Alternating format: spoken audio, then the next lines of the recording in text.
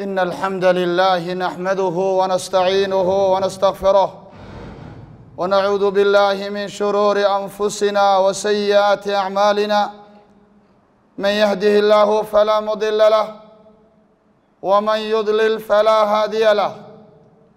وأشهد أن لا إله إلا الله وحده لا شريك له. وأشهد أن محمدا عبده ورسوله. يا أيها الذين آمنوا اتقوا الله حق تقاته ولا تموتن إلا وأنتم مسلمون. يا أيها الناس اتقوا ربكم الذي خلقكم من نفس واحدة وخلق منها زوجها وبث منهما رجالا كثيرا ونساء واتقوا الله الذي تساءلون به والارحام إن الله كان عليكم رقيبا. يا أيها الذين آمنوا اتقوا الله وقولوا قولا سديدا. يصلح لكم أعمالكم ويغفر لكم ذنوبكم. ومن يطع الله ورسوله فقد فاز فوزا عظيما. أما بعد فإن أحسن الكلام كلام الله وخير الهدي هدي محمد صلى الله عليه وسلم وشر الأمور محدثاتها وكل محدثة بدعة وكل بدعة ضلالة وكل ضلالة في النار. ثم ما بعد فيا عباد الله ولا ليال maxaasinta iyo wanaagga islaamka waxaa ka mid ah inuu islaamku dhiiri geliyey isku duubnida iyo wada noolaanshaha altakaafulu waltadaamun alijtimaaci isku duubnida isla noolaanshaha nafqays nafqaybsadka bulsho iyo in dhib iyo dheef ay bulshada islaamku wadaagto ayay shareecadeenna islaamku inoo jedaysay waana dhaqankii rasuulkeenna calayhi salaatu wasalaam. Nabigeennu sala allahu calayhi wasalam markuu magaalada madiine yimid tallaabadii u horreysay ee uu qaaday waxay ahayd marka masaajidka laga reebo iyo saldhiggii uu sameeyey dowladda islaamka.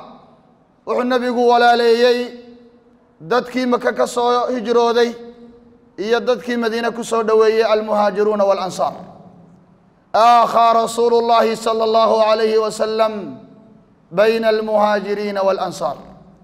وحن نبي كدح حبوري عليه الصلاة والسلام. وظن ولانشو ينف قيبسي عليه الصلاة والسلام. وأنو رجل رسول كانوا عليه الصلاة والسلام. وظن ولانشها ينف قيبسي بل نبي وحو كبحي أبا القدوين عليه الصلاة والسلام. أرنت نوع عصر waxa u ihi abu muusa alashcari radia allahu canh rasuulka ilaahay calayhi salaatu wasalaam ayaanu u nimid. Annagoo ah qabiilada alashcariyiin markaasaa nebigu wuxuu ihi calayh salaatu wasalaam intuu saxaabadii la hadlay ina alashcariyiin idaa armaluu fi lgazw aw qalla acaamuhum aw qalla طacaamuhum wa طacaamu ciyaalihim bilmadiina جعلوا ما كان عندهم في ثوب واحد ثم اقتسموه بينهم في إناء واحد بالسوية فهم مني وأنا منهم. ونبي قول عليه الصلاة والسلام قبيلة الأشعريين تو وقبيلة هذه دمر كودو أي كعر ملوبان بان دقالك ورقو ذا الله أما عنا عيال كودو أي راتو intay madiine ku sugan yihiin ama magaalaba guud ahaanba dhaqan ahaan waxay u leeyihiin inay isu keenaan waxay hayaan oo dhan adduunyo. Cunno hu iyo hunguri waxay hayaanba. Dabeedna ay meel qura isugu wada keenaan. Kadibna kii wax lahaa iyo kii aan waxba la imani ay u qaybsamaan ay u qaybsadaan si siman oo isleeg. Markaasaa nebigu wuxuu siiyey jaa'isad weyn. Jaa'isadaasi waa maxay? Fahum minii wa ana minhum buu nebigu uhi sal alay slam anay iga mid yihiin aniguna iyagaan ka mid ahay buu rasuulku yihi calayhi salaatu wasalaam sifadaa weyn fadligaa weyn waxay ku heleen sifadaa wanaagsan ay leeyihiin oo ah altacaayushu maca albacdi waltadaamun waltakaaful alijtimaaci isku duubnida wada noolaanshaha iyo isla nafqaybsidka xilliga dhibtu jirto ayaa ay ku heleen arrinta noocaasiya azamaadka dhibaatooyinku markay dhacaan kuwa samaawiga ah sida abaaraha iyo xanuunada ama kuwa ardiga ah sida colaadaha iyo waxa la midka ah dadka muslimiinta ahi waa qaar markaa isku duubna isku duubma oo barhba barhka kale uu isgarab taago isla nool oo aan kala noolayn. Isxaal og oo aan kala mooganayn. Naftaa qof waliba naftiisa wuxuu la jecel yahay walaalkiisa kalena la jecel. Sidaas ayay xaaladda muslimiintu ay tahay waana sida shareecadeennu ay dhiiri gelisay wuxuu yihi saxaabiga jariir ibnu cabdillaah albajali radia allahu tacaala canh rasuulka ilaahay baa noo yimid calayh salaatu wasalaam rasuulku markii uu noo yimid calayhi salaatu wasalaam waxaa magaalada madiine soo galay iftiin iyo nuur. Waxay magaalada madiine noqotay mid farxad iyo waxa weeye rayn rayn rasuulka ku qaabisho calayh salaatu wasalaam. Sidaasay xaaladdeedu ahayd buuhi ilaa annagoo nebiga la joogna calayh salaatu wasalaam yowman min alayaam ayaa waxaa noo yimid rag seefahoodii seefahoodii ku gaadhan ama ku jeeni qaaran. Kabala dharla baahi iyo diifi ka muuqato. Badankooduna ama dhammaantoodba ka mid ahaa qabiilata mudar. Waa qabiiladii qurayshi ka dhalatay. Ee quraysh ka mid ahayd wey. Markaasaa nebigu calayh salaatu wasalaam xaaladoodii markuu arkay wejiga rasuulku waa isbedelay calayh salaatu wasalaam. Nebigu bilaal wuxuu faray inuu salaada u eedaamo. Dabeedna uu u aqiimo bilaal u eedaamay waanu aqiimay kadib buu nebigu dadka tukiyey calayh salaatu wasalaam. Markaasaa rasuulku wuxuu yihi tasadaqa rajulu min diinaarih min dirhamih min thawbih min saaci burih min saaci tamrih xataa qaala walow bishaqi tamrah wuxuu nebigu yihi nin walowba diinaarkaaga wax ka bixi dirhamkaaga wax ka bixi cuntadaada iyo dharkaaga wax ka bixi timirtaada wax ka bixi midhahaaga wax ka bixi. Markaasaa wuxuu yihi nin baa istaagay. Markaasaa wuxuu la soo noqday kiishad lacaga oo calaacashiisa inay buuxiso ama buuxisayba markaasuu nabiga hortiisa dhigay calayh salaatu wasalaam nin kalaa yimid markaasaa wuxuu keenay kuus cunno ah sidaasay isaga soo daba dhaceen saxaabadii rasuulku isagoo nebigu goobtii taagan calayh salaatu wasalaam ilaa nebi moxamed agtiisa laba kuus oo waaweyn oo cunno ah lagu ururiyey. Markaasaa waxaan arkay nebi moxamed wejigiisii oo wirwirhaya calayhi salaatu wasalaam isag moodo gobol ama qeyb ka mida dayaxa. Yacnaa waxa weye siduu wirwirhaayey كذبوا النبي قول عليه الصلاة والسلام من سن في الإسلام سنة حسنة فله أجرها وأجر من عمل بها بعده من غير أن ينقص من أجورهم شيء ومن سن في الإسلام سنة سيئة كان عليه وزرها ووزر من عمل بها من بعده من غير أن ينقص من أزور من أوزارهم شيء. رواه مسلم في صحيحه. والنبي عليه الصلاة والسلام ninka islaamka dhexdiisa ku jideeya wado waddo khayr oo dadku ay wada maraan oo lagaga daydo wuxuu leeyahay ajriga waddadaa wanaagsane u jideeyey. Iyo ajriga waddadaa wanaagsanee uu jideeyey cidda la marta ee waxa weeyaan raacda. Isagoo aan ajrigiisa midnaba midka kale aan waxba ka nuqsaaminayn. Ruuxa islaamka ku dhex jideeya waddo xun iyo wadiiqo xun ummadda u horseeda wuxuu leeyahay dembigeeda. Iyo cidda waddadaa marta dembigiisa. Iyadoon midna aan dembigiisa waxba laga nuqsaaminayn sidaa daraaddeed waxay saxaabada rasuulku ahaayeen qaar xaaladihii adkaa xaaladihii dhaqaale kuwii nololeed kuwii deegaan kuwii dowladnimo kaga soo gudbay isku duubni wada noolaansho iyo iska warhayn. Xoogagaan isu ahaa. Midba midka kale waxa weeye uu ka warhaya xataa saxaabada rasuulku waxay iska kaashan jireen kafanka ruuxa ka dhinta. Iska daa wax kaleo wuxuu wariyey zubayr ibnu cawaan yowma uxud markii saxaabada rasuulka dhibta badani ku dhibta badani ku dhacday ilaahayna uu sheegay inay dhibaato ku dhacday. Awalamaa asaabatkum musiiba? Qad asabtum milayha qultum ana hada qul huwa min cindi anfusikum. Musiibaa ku dhacday saxaabada siduu ilaahay cabaray subxaana wa tacaala toddobaatan saxaabi baa shahiiday wa fiihim xamza radia allahu tacaala canhu wa ardaah. Ayaa wuxu uhi zubayr gabadh baa meel dheer ka soo muuqatay. Inay ruux dumara tahay baa la arkay. Wuxuu nebigu diiday inay aragto muuqaalada dadka shahiiday oo qaarkood ay gaala jarjartayba oo xubnahoodii ay muramureeyeen ama ay wasladeeyeen. Markaasaa nebigu wuxuu yihi almar'ata almar'a. Gabadha ha la celiyo gabadha ha la celiyo wuxuu yihi waxaan qiyaasay inay hooyaday tahay zubeer rasuulka eedadii ruma safiya binti cabdilmualib wahiya waana iyada lafteedii. Sidaasaan maleeyey buu ihi dabeedna waan kacay. Markaan ku dhawaaday ma arkay inay hooyaday tahay. Waxaan ku ihi buu ihi hooyo xaggeed u socotaa gabadh xoog badan bay hooyaday ahayd buu ihi labada gacmood bay laabta iga dhufatay bay tihi ayuu yidhi. Markaasaa waxay tidhi ilayka canii laa arda lak kuma doonaye iga baydh مركا صاربودي عزمة رسول الله صلى الله عليه وسلم. وقوان نبي وحنا نقول شيء ما قوان عنيقا عزمة رسول الله. وقوان يأمر نبي عليه الصلاة والسلام. سبحان الله. ويستاكت مركا ما يقول رسولكم ولا الكيب يديدي ما يقول رسولكم محروق لنا نقضى بو يديدي سيدا ما تدو مركا مسلمين تاهي. أي نصوص تشريعات أولا مرميان قاربة نوكا مدي. أولا مرمين يدو. تبتنا ويستاكت الله وقمره oo ay kafan ugu tala gashay ayaa ii soo dhiibtay buuhi waxay tidhi waxaan maqlay walaalkii xamsa in la dilay. Labadaa maro qaado xamse ku kanfa.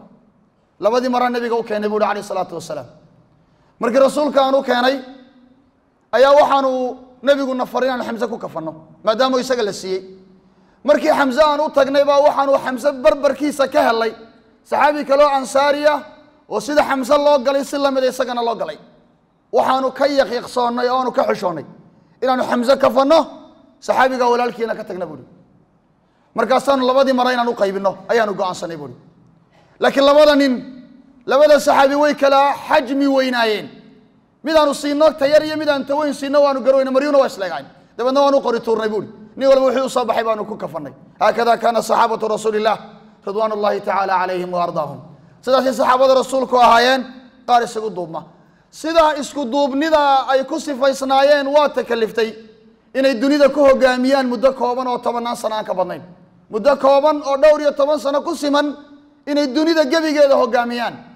Inay dunidii dowladaha waaweyn ee awoodda lihi ka talinayeen ka ruumi wa furus. Sida ruum iyo furus in iyagoo saxare ka yimid saxaabada rasuulku. Aan lagu aqoon tababar dagaal aan waddankooda ku oolin goobo waxbarasho oo aqoon lagu barto aan lagu aqoon maal iyo hanti badan ay leeyihiin. Xadaarad iyo reer magaalnimo inay dhammaan wixii reer magaalnimada sheeganayay ay ku hogaamiyeen. Saddex iyo toban sano ama afar iyo toban sano waxaan ka badnayn. Dunida inay noqotay dowlad ku soo biirtay oo lagu xisaabtamo go'aankeedana la meel mariyo. Waxay taa ku keeneen saxaabada rasuulku isku duubni walaalayaal iyo wada noolaansho waana ta lagu gaadhayo horumar adduunyo iyo raalli ahaansho ilaahay iyo fawz iyo guul aakhiro. Aquulu maa tasmacuuna wastaqfir allah alxamdu lilaahi calaa ixsaanih washukru lahu calaa tawfiiqihi waimtinaanih وأشهد أن لا إله إلا الله تعظيما لشانه وأشهد أن محمدا عبده ورسوله الداعي إلى رضوانه. بلغ رسالة وأدى الأمانة ونصح الأمة وكشف الله به الغمة وجاهد في الله حق جهاده حتى أتاه اليقين وتركنا على المحجة البيضاء ليلها كنهارها لا يزيغ عنها إلا هالك. fasalawaat اllaahi wasalaamuhu عليه. ma tacaaqaba الليل wاnnahaar wma dakarahu daakiruuna alabraar cibaad allah walaalayaal wada noolaanshaha iyo isku duubnida nebigu wuxuu ka dhigay xaq qof kastoo muslima saaran wax aan qofku ixsaan iyo samafal aanu u gudanayn ee uu u gudanayo waajib diiniyoo saaran wuxuu nabigu yihi alayh isalaatu wasalaam maa aamana bi man baata man wajaaruhu jaa'icun ilaa janbihi wa yaclamu bih iman rumayn iimaankii aan rabay ee rasmiga ahaa iimaankii dhammayska tirnaa lamu iman ruux waaguu baryo isagoo dharagsan jaarkiisuna dhinaciisa uu ku gaajoonayo isagoo ka warhaya haddaanu ka warhayn lagu ciqaabi maayo wa huwa yaclamu bih isagoo og nebigu calayh salaatu wasalaam wada noolaanshaha wuxuu nebigu soo gaadhsiiyey dheriga gacanta in la wada geliyo ilaa rasuulku yidhi midkiin hadduu karsanayo hilib maraqa biyihiisa ha badiyo si uu u gaadhsiiyo jaarkiisa oo wax uga siiyo. Rasuulku calayh salaatu wasalaam wada noolaanshaha wuxuu gaadhsiiyey luqmatulcayshka qofku afka gelinayo inuu walaalkii wax ka siiyo. Dacaamu lwaaxid yakfi ithnayn wa dacaamu ithnayn yakfi halaatha cuntada ruux loogu talagalay labay ku filantay buu nabigu uhi cuntada laba ku filan saddex bay deeqdaa baa nabigu uhi alayh isalaatu wasalaam. Iihaarka iyo doorbididdu iyo ruuxu inuu walaalkii la naf qaybsadaa waa amar rabbaani ah waa amar nabawi ah oo nabigu ina faray calayh salaatu wasalaam. Rabbina ina faray subxaanahu wa tacaala. Sidaa daraaddeed walaalayaal waxaa rasuulka calayh salaatu wasalaam u yimid sida warinaya abi saciid alkhudri annagoo jihaad ku soconna baa nin nagu soo baxay ninkii wuxuu isha mariyey dadkii. Inuu bilaa gaadiid yahayna waa la arkaya. Markaasaa nebigu dareemay baahida uu u qabo gaadiid. Markaasaa nebigu wuxuu ihi calayh salaatu wasalaam man kaana macahu fadlu dahrin falyacud bih calaa man laa dahra lah waman kaana lahu fadlu zaadin falyacud bihi calaa man laa zaada lah. Markaasaa wuxuu yidhi abu abu saciid nebigu waa ku celceliyey ilaa aan isu aragnayba inaanaan xaq u lahayn wax baahidayada ka badan inaanu sii haysano. Wuxuu nebigu yihi ninkii gaadiid dheeraada hayow midaan gaadiid haysan ugu deeq. Ninkii cunto dheeraada hayow nimaan sahay sidan ugu deeq. Waxaabaan isu aragnay buu hi abu saciid inaanaan xaqba u lahayn inaanu wax ka dheeraada baahidayada aanu haysano. Sidaasaa nebigu calayh salaatu wasalaam uu saxaabada markaa waxa weeye isugu xidhay. Rasuulku sala allahu alayh wasalam markay abaaruhu dhacaan xilligii abaarta baani dhacday nebigu saxaabada wuxuu amar ku siiyey inaan cuntada la kaydsan ruuxu markuu neef gowracdo inuu wuxuu ka cuni karo ka cuno. Waxa kalena uu qaybiyo saxaabadu tacliimkaasay qaateen. Markii ilaahay uu barwaaqada siiyey ee futuuxaadka iyo khanaa'imta ilahay nebiga u furay ayay saxaabadu nebiga weydiiyeen iyagoo dariiqii hore haysta. Rasuulkii allow waxaadna fartay inaanaan waxba kaydsan. Miyaanu sidaa yeelnaa wuxuu nebigu yihi taasi waxay ahayd dhib walaalihiin haysatay. Maanta ilaahay qof walba hani buu ka dhigay. Cuna buu nebigu yihi kuluu washrabuu wadakhiruu cuna oo caba oo kaydsada baa nebigu yhi alayh isalaatu wasalaam. Tacliimka noocaasi waa tacliim nabowi walaalayaal. Waa jid nebi moxamed uu inoo jideeyey calayh salaatu wasalaam. Maantana dunida waxaa ka jira waynu ogna dhib xanuunaa jira.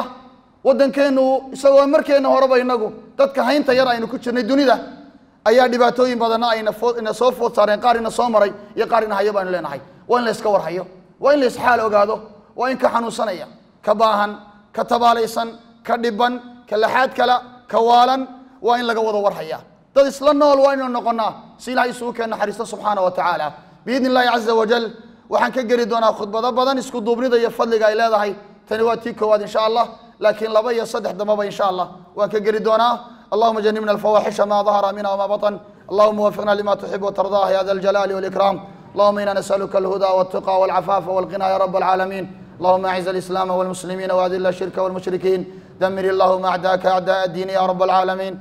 اللهم من أراد بنا أو ببلادنا أو عقيدتنا أو أمننا أو قيادتنا سوءا فأشغله في نفسه ورد كيده في نحره واجعل تدبيره تدميرا عليه يا رب العالمين. اللهم اجعلنا من الآمرين بالمعروف والناهين عن المنكر يا رب العالمين. اللهم اجعلنا مفاتيح الخير مغاليق الشر يا ذا الجلال والإكرام.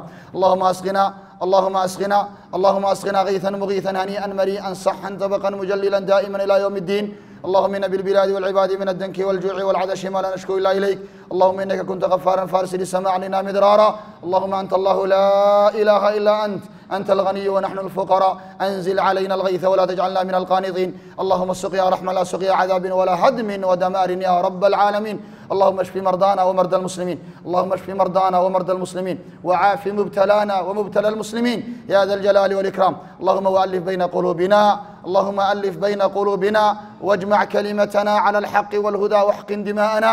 ودماء المسلمين يا رب العالمين. وصل اللهم على الحبيب المختار. وعلى آله وصحابته الأخيار. ومن تبعهم بإحسان إلى يوم الدين والقرار.